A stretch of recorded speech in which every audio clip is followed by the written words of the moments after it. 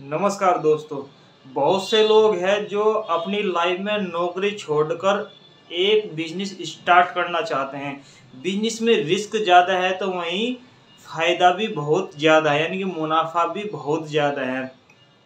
Business चालू करना, यानी कि बिज़नेस स्टार्ट करना और फिर बिज़नेस को चलाना, ये दोनों अलग अलग बातें हैं। बिज़नेस करना तो आसान है, लेकिन उसे चलाना बहुत ही मुश्किल है, यानी कि उससे पैसा कमाना बहुत ही मुश्किल है। कुछ लोग हैं जो जो जो उसमें बिज़नेस स्टार्ट तो कर लेते हैं, लेकिन उस बिज़नेस को सही से चला नहीं पाते हैं। जब बिज़नेस में नुकसान होने लगता है तो लोग उस बिज़नेस को, अपने बिज़नेस को बंद कर देते हैं। एक बड़ा बिजनेसमैन बनने के लिए और बिज़नेस चलाने के लिए बहुत ही नॉलेज की ज़रूरत होती है, बहुत ही मेहनत की ज़रूरत होती है और एक अच्छी मार्केटिंग की नॉलेज होनी भी बहुत ज़रूरी है। आज इस वीडियो में हम आपको बताएँगे कि एक सफल बिजनेसमैन कैसा बना जाता है। ऐसी कौन सी चीज़ें हैं जिसका हमें हमेशा ध्यान रखना चाहिए ताकि हमारे बिज़नेस में अच्छा मुनाफा आ सके और अच्छा मुनाफा हम लोग कर सके। आज इस वीडियो में हम आपको बताने वाले हैं कि बिज़नेस में क्यों नुकसान होता है। दोस्तों, इस वीडियो को शुरू करने से पहले वीडियो को लाइक और कमेंट्स कर देना और अगर आप मेरे चैनल पर नहीं तो चैनल को सब्सक्राइब कर देना ताकि हमारी वीडियो की नोटिफिकेशन आप तक पहुँचती रहे। एक सफल बिजनेसमैन कैसे बने? ये कहानी है एक छोटे से गाँव की जिसका नाम महेश था।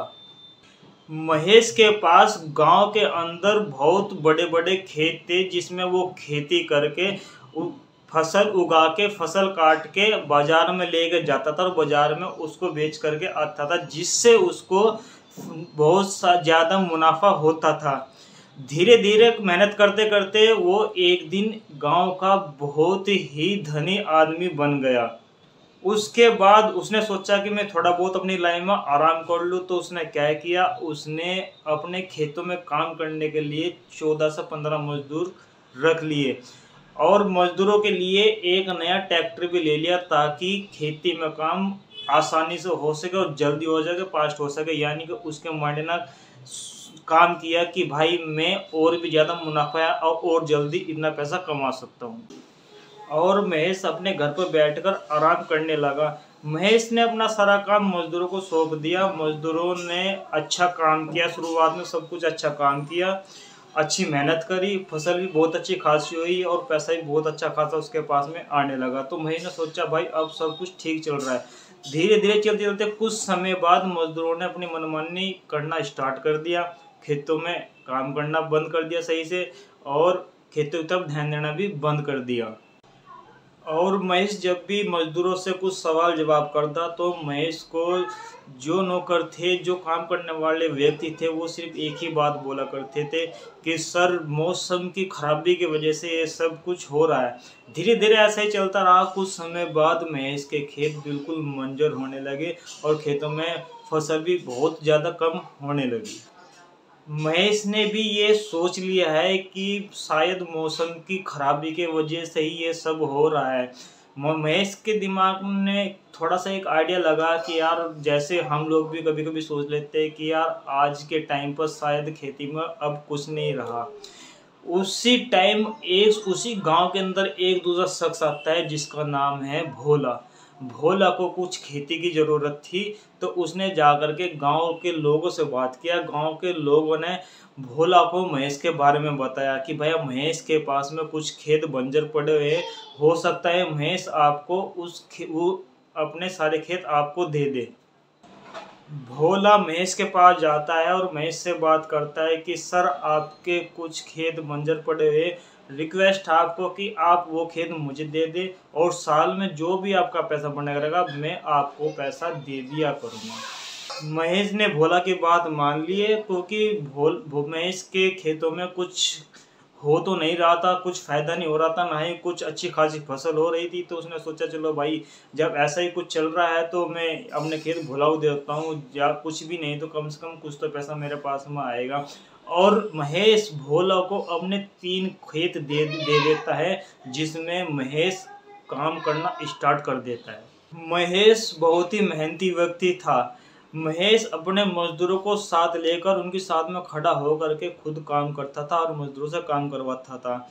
वो टाइम समय समय समय पर अपनी खेत की जुताई करता था। समय पर खेतों में पानी दिया करता था, समय समय समय पर खेतों में खाद दिया करता था और जब उसके अंदर घास उगती थी तो समय समय पर घास को भी खोद कर निकाल कर फेंक दिया करता था। उसने अपने खेतों की बहुत अच्छे से निगरानी रखी, जो जिसके चलते उसके खेत में बहुत अच्छी फ़सल भी हुई और अपने खेतों में बहुत अच्छी खासी मेहनत भी करता था। चलते चलते तीन साल का समय निकल जाता है और भोला महेश के खेतों से बहुत सारा पैसा कमा लेता है, बहुत सारा धन कमा लेता है। भोला की फ़सल हर साल अच्छी होती थी तो वहीं महेश की फ़सल हर साल खराब होया करती थी।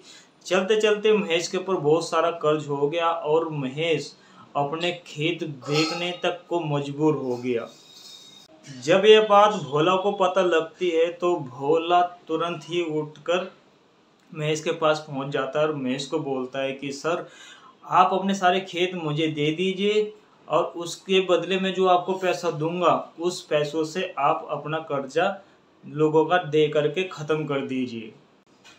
भोला महेश को एक बात और बोलता है कि, सर, पहले आपने मेरी मदद की थी अपने खेत देकर।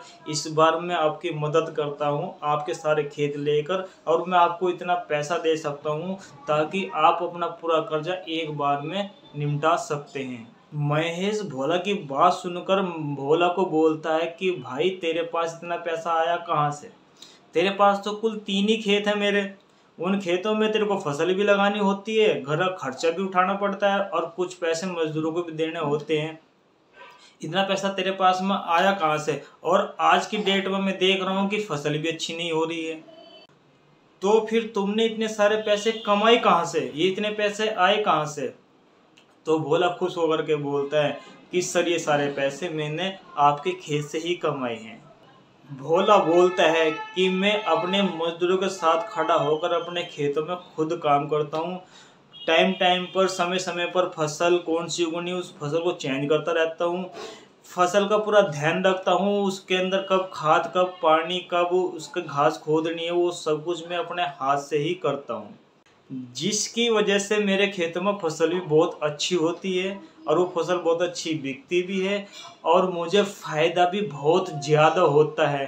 वहीं आपने अपने खेतों में जाना छोड़ दिया, सारा कुछ मजदूरों के हाथ में सौंप दिया, जहाँ पे मजदूर ने अपनी मनमानी स्टार्ट कर दी थी और वहीं पर आपके खेत मंजर होने स्टार्ट हो गए और उसके चलते ही आपके खेतों में कुछ अच्छे से फ़सल नहीं होती है।